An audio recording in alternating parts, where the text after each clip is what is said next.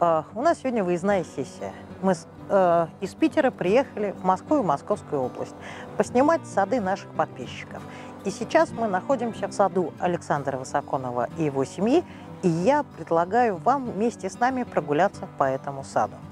А я сакцентирую внимание на тех растениях, которые меня приятно удивили.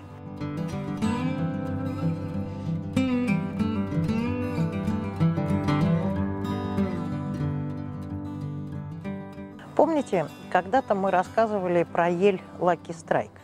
Это была героиня одного из наших хит-парадов. Так вот здесь Лаки Страйк, не могу сказать, что большая, но достаточно высокая. Но мне было сложно представить, что она в Московской или Ленинградской области может достигать 5 метров. Причем у нее очень забавная форма. Если заметили, она почти как стрела, как шпиль выпустила. И на этом же участке есть еще одна Lucky Strike, которая имеет более привычную форму. Ее просто стригут.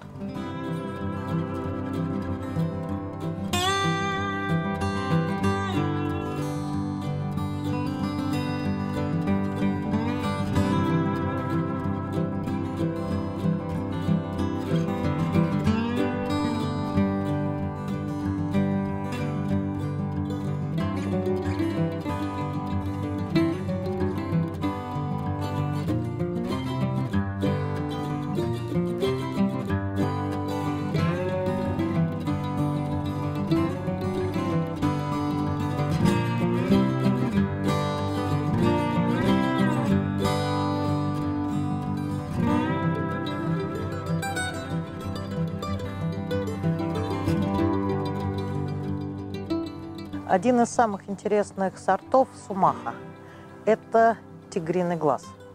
Посмотрите, как он интересно смотрится на фоне Пиццея Пунгенс The Blues. Яркий желтый сумах и светло-голубая, почти небесного цвета колючая ель.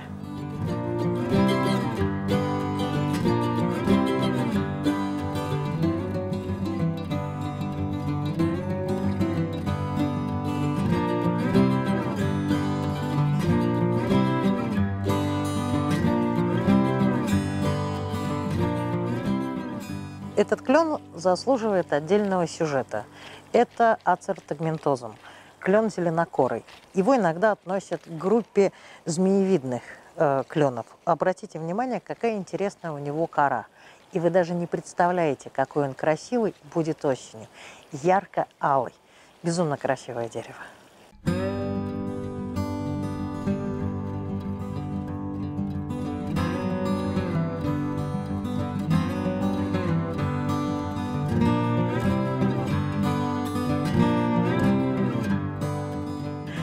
Не знаю, насколько а, камера хорошо передает и можно ли с такого расстояния увидеть, но я нахожусь перед своей самой любимой березой. Это бетула нигра, береза черная. И, если честно, я никогда не думала, что у нее есть варигатные сорта. Оказывается, есть. А, мы постараемся в одной из ближайших передач сделать отдельный цикл именно о березах. Вы не представляете, какая у нее красивая необычная кора. А плюс еще варигатность. Я думаю, что это растение достойно занять почетное место в вашем саду.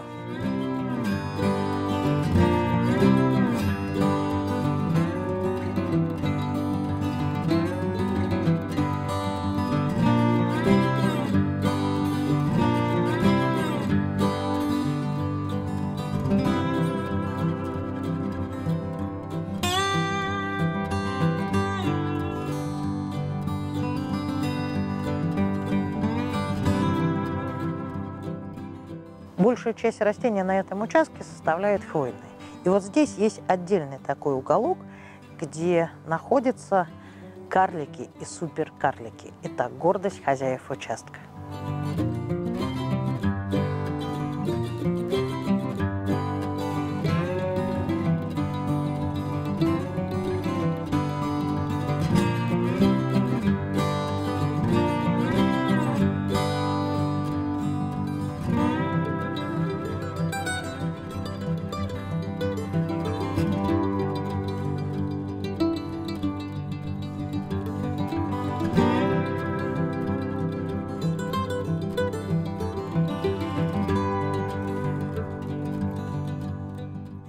Каждого есть дерево из детства.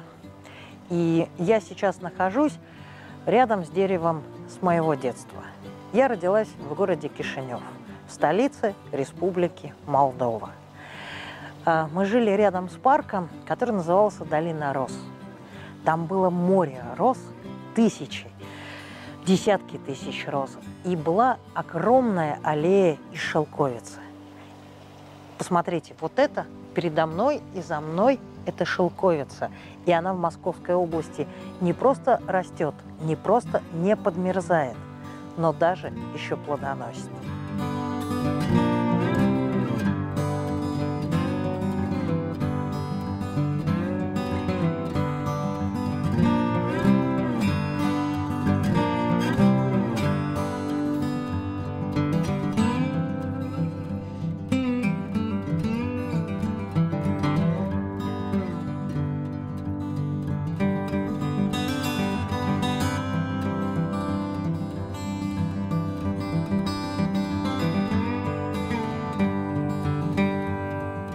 А на этом все.